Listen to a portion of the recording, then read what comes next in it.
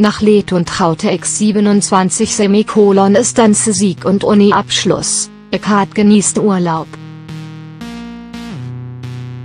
Ekaterina Leonova, 31, hat ein paar stressige Monate hinter sich.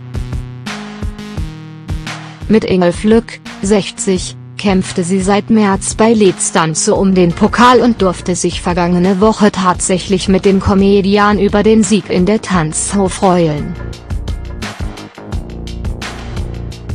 Nebenbei beendete die gebürtige Russin zudem ihre Masterarbeit und machte damit ihren Uni-Abschluss.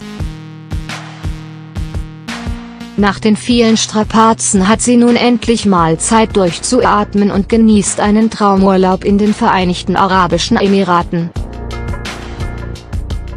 Auf Instagram grüßte sie ihre Fans zunächst mit einem Foto aus Abu Dhabi mit Blick auf das Fairmont Marina Resort einer gigantischen Wolkenkratzer-Hotelanlage, die dem berühmten Fünf-Sterne-Haus Atlantis de Palm auf der künstlich angelegten Palmeninsel in Dubai nachempfunden sein soll. Mit ihrer Schwester Maria postete sie dann außerdem Pics aus jenem Emirat direkt vor und aus dem Burj Khalifa, dem höchsten Bauwerk der Welt und ihre Sis scheinen sich nicht nur ziemlich nahe zu stehen, sie teilen auch die Lust am Tanzen.